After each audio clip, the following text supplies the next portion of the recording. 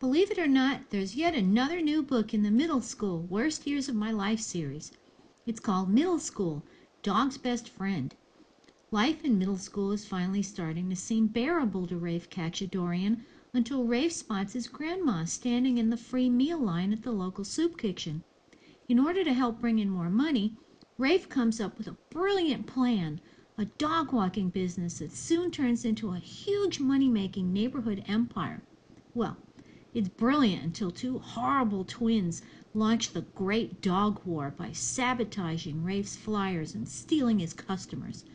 I could tell you more, but you get the idea. If you've enjoyed the middle school series up to now, you'll enjoy this one too.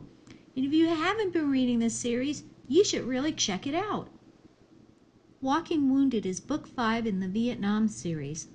Morris, Rudy, Ivan, and Beck were best friends. So, when one of them was drafted into the Vietnam War, the others signed up too. They promised to look out for one another. They pledged to come home together. Now, that pledge has been broken. One of the four has been killed in action, and the remaining three are the only men alive who know the awful truth about their friend's death. Find out what happened in Walking Wounded by Chris Lynch. Peter Nimble fans, the third book in the series is here and it's called Sophie Quire and the Last Storyguard. It's been two years since Peter Nimble and Sir Toad rescued the kingdom of Hazelport. In that time they've traveled far and wide in search of danger. Now they've been summoned for a new mission to find a 12 year old book mender named Sophie Quire. Sophie knows little beyond the four walls of her father's bookshop where she repairs old books and dreams of escaping the confines of her dull life.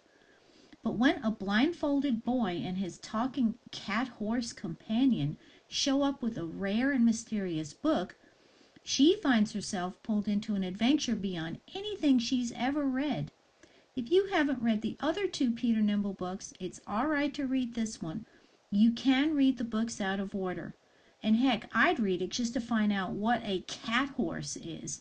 I think there's one on the cover and it looks kind of weird. This week I have another ebook for you in the Twice Told Tales series. Once, or twice, upon a time, a boy found an old house, all sealed up and impossible to enter. In this retelling of Sleeping Beauty, the house is called the Sova House, and everyone says it's haunted.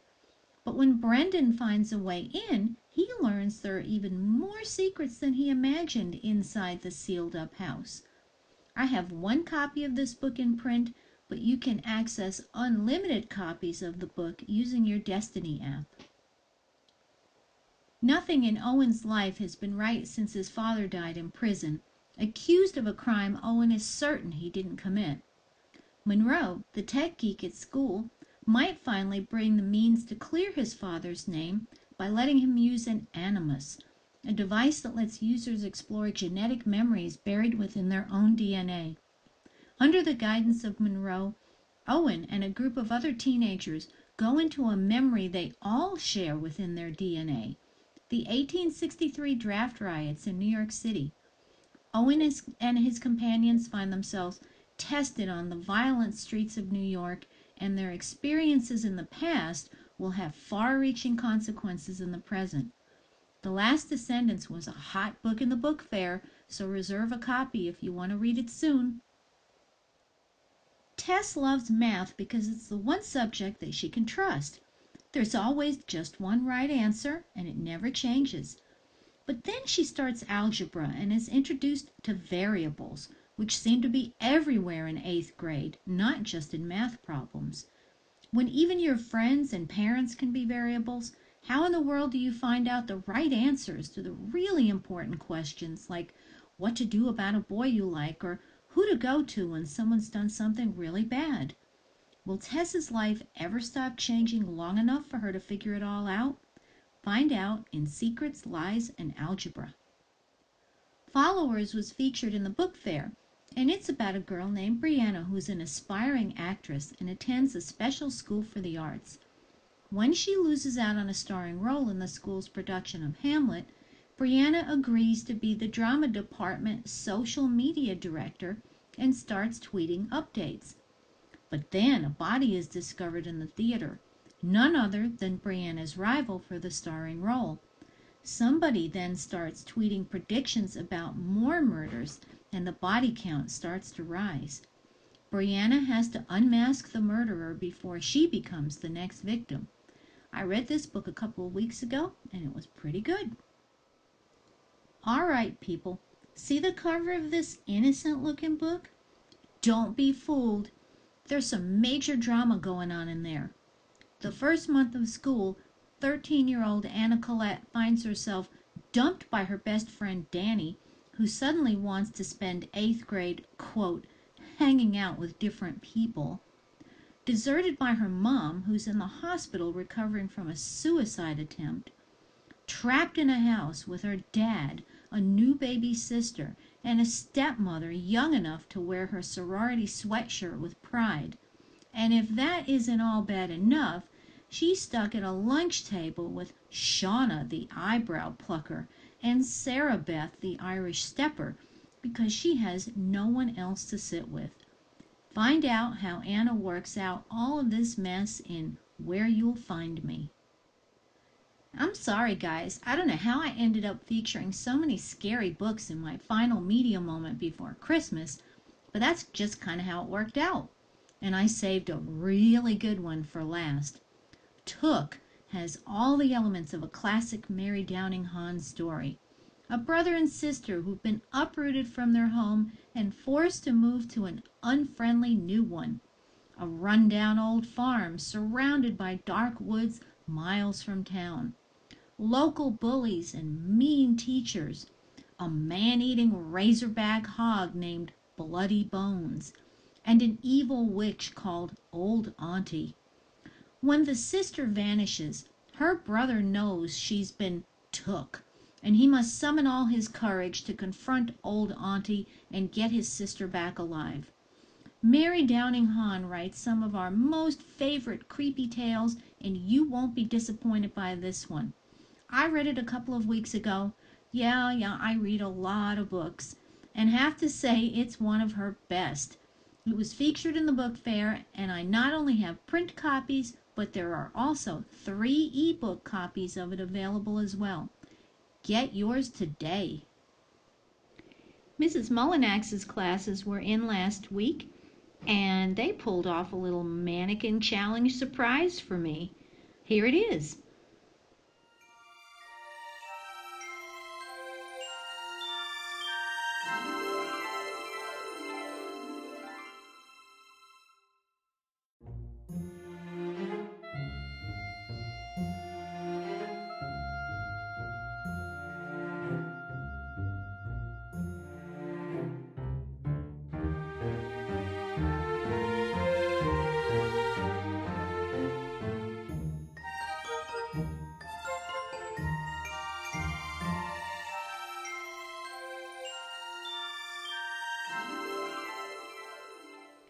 Wasn't that terrific? They really did a good job, and honestly, I don't think the library has been that quiet in years. Okay, it's time for another update on the top 16.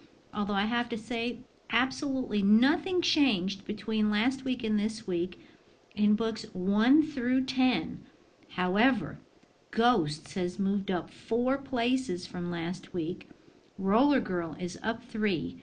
There's no change in all the lovely bad ones. Diary of a Wimpy Kid, The Ugly Truth went down three. Life as We Knew It went down three. Guinness World Records is still in 16th place, and The Raft has sunk, taking with it House of Dark Shadows. I am getting more and more excited about March Madness, and I just can't wait till we start the tournament. Well, here we are, almost at the end of 2016 already. I hope you've been enjoying the media moments as much as I've enjoyed making them, and I hope that you've found some really good books to read. I can't wait to reveal some of the awesome new books that I've got waiting for you when we come back in 2017. I'm going to be reading a bunch of them over the vacation. Speaking of the vacation, we'll be out of school for two weeks, and some of you may not have taken home enough to read. Please keep in mind that we have 374 ebook titles available 24 hours a day, and that 114 of them have unlimited copies. So if you have a sixth or seventh grade tablet or any device that has internet connection, such as a smartphone or a Chromebook, you have the ability to check out one of the GMS ebooks any time of the day. If you owe a fine or a book to the library, you can still check out an ebook. Nobody has an excuse for not reading at GMS. I hope you have a safe and wonderful and happy Christmas vacation, and I look forward to seeing you back in 2017. Before I close, I have a special message to share with you from Pootie Cat.